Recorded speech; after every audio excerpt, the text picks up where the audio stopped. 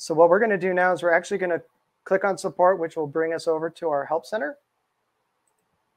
Now, on the back of uh, the radios, I'm going to show you both radios right now.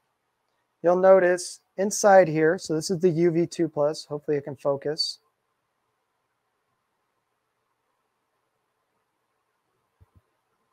Let's see. Uh, well, in the label right over here, it says ATD UV2 Plus. There kind of is focusing a little bit. It says UVII Plus. And this one says the ATD 878 uh, UV Plus. Oops, sorry. Let's get it in screen a little bit. Can we get that in focus? There we go. Oop, had it. So one of them says the UV2, one of them says the UV plus. So um, if you have the UV2, what we're going to want to do is we're going to want to come over here and click on this one right here, the first one. What this is going to do is this is going to bring us over to our page. 2.05 is our current version for UV2 plus or the UV2. So what we're going to do is we click on this first link and it will download. Now I'm going to download this and I'm going to download the other one.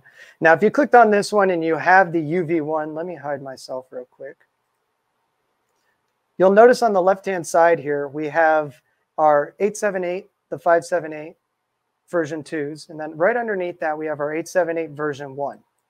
So we're going to click on that and that's going to bring up our CPS and firmware versions for the 878 UV1. So the UV and the UV plus. So we're going to click here and our current version is 1.27. So we could click that right here and this will automatically download for you. Now what I'm going to do is I already have one downloaded. It's the same for both. I'm going to bring up this window right here. And what I'm going to do is now that I have these downloaded, I'm going to right click on one of these. I'm going to go extract all. You do not need to get a third-party extractor. You do not need WinZip. You do not need 7-Zip. You do not need WinRAR. You don't need any of these um, programs out there. You can actually, Windows has it built in. All you got to do is click on Extract All. It's going to do it through its, uh, the Windows Explorer. We're going to click Extract All or Extract here. And you're going to notice another window will pop up. Oh, sorry, that you might not have seen that. It was an extract window right here. And when I clicked extract all, it may have brought up this window. Now in here, we have a bunch of folders. Let's start here at the top. Right here is going to be all your manuals. That's going to teach you. You have uh, the user manual here, the Bluetooth guide, our change logs for the CPS, baseband update. So if you're having some issues, how to do firmware update, if there is an icon update issued with it, here's how to perform the icon update, how to use our JSON to CSV tool, um, and then we have the virtual driver installation. So these are all guides that will help you. Now we're going to come back here. And one of the things we're going to actually do today is we're actually going to go over how to add one of these screens to your radio.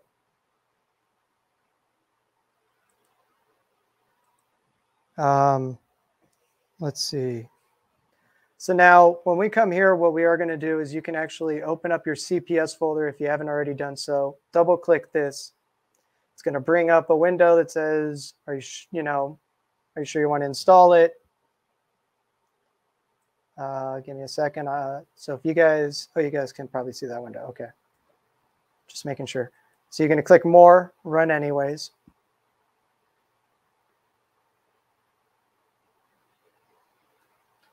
You'll get the window that says, do you want to install this? Yes. And we'll get this. Now, if you get this screen right away where it goes straight, give me a second. Let me put that in the window. If you get this where it goes straight to create desktop shortcut, uh, that means that you already got a previous version like 2.04 in or an existing 2.05 installed. Or the same thing with 1.27. It could be you have a 1.27 or a 1.26 already installed. So it's not going to give you the option to choose where to download.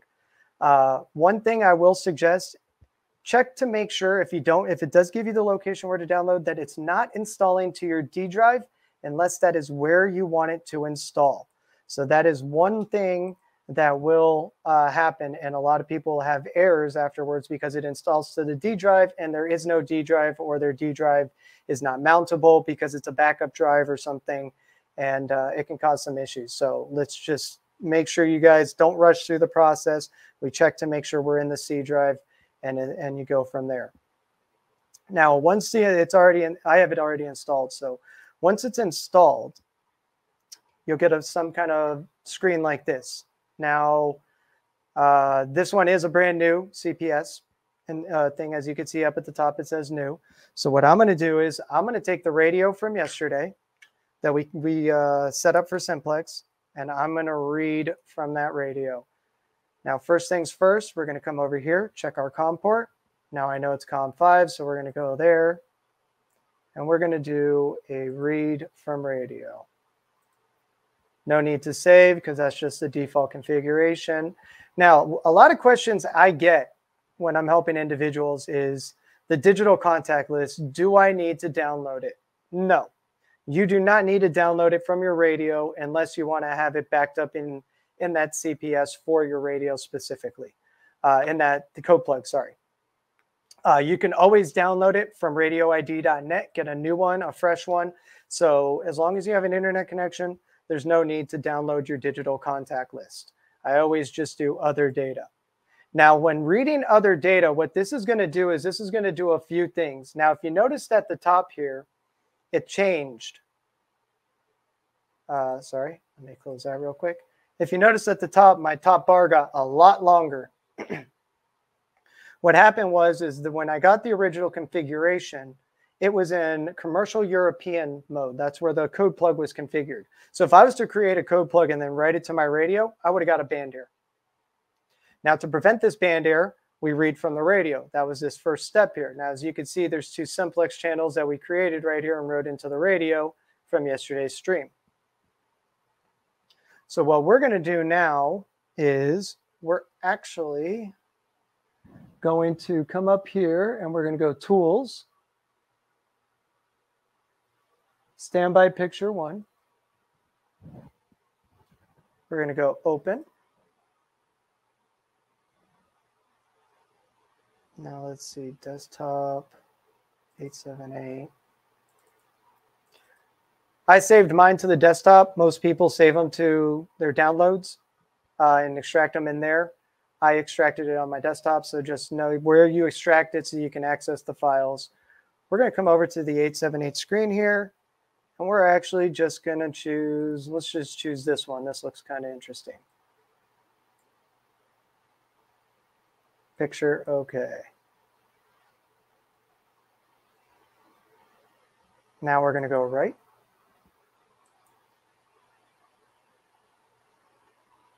Write, data complete. So now that picture has just been written to my radio. So what we're going to do now is we're going to come over to optional settings.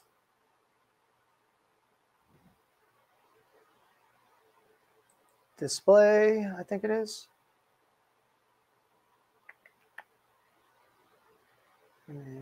Where was it?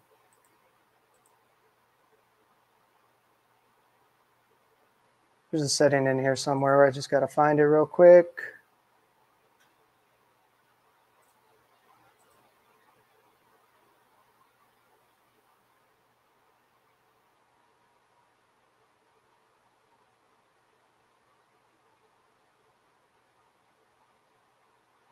There we go.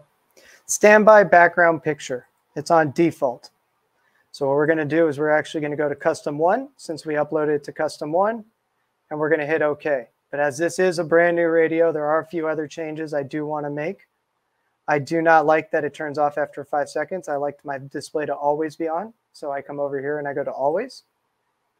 Now, I'm not going to mess with all the colors, but there is one last thing I always tell people to check before writing to their radio is on key functions. Now, one thing that happens to a lot of people is you will actually get locked out or your radio will lock up um, due to these four options right here. As you can see, three of them are on. The key knob lock. the keyboard lock, and the side key lock. We want to disable all three of these. Actually want to make sure also force key lock is also disabled. But as of right now, since only three of these are on, we're going to make sure that they're all off. We're going to hit OK. And we are going to write to radio.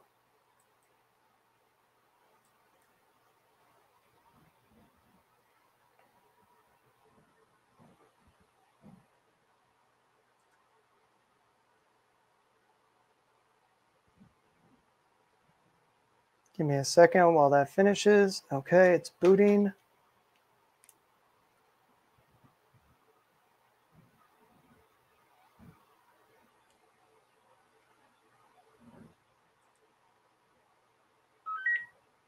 As you guys now can see, my background has that background that we chose.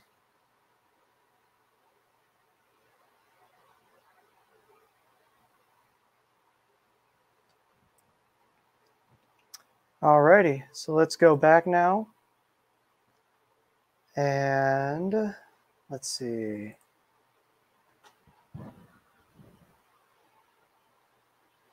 Was it in here? Boot image. Okay, so we're going to come down to boot image now. And what we're going to do is we're going to open up a different image. And if we come down in here, here we go.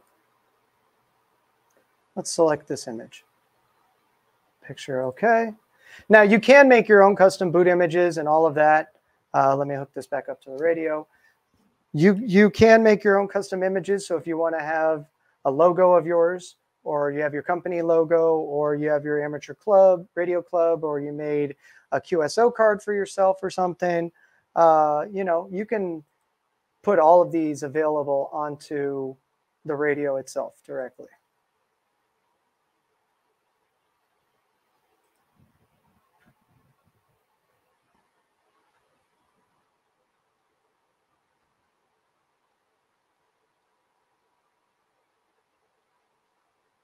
Oh, my bad.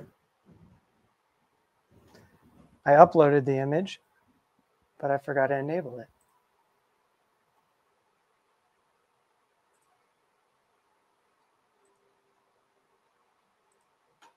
I actually need to come to optional settings. Under optional settings, we are going to have, where is it? Right here, power on interface, we want to make sure we select custom picture. See, even we forget steps sometimes.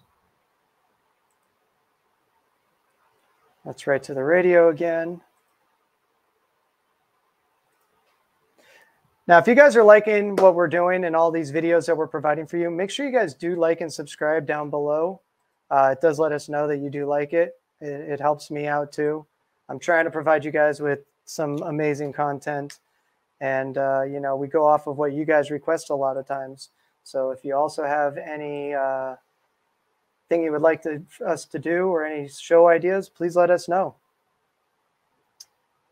Now I'm going to reboot the radio here again. Let me pull up my screen full. All right, booting.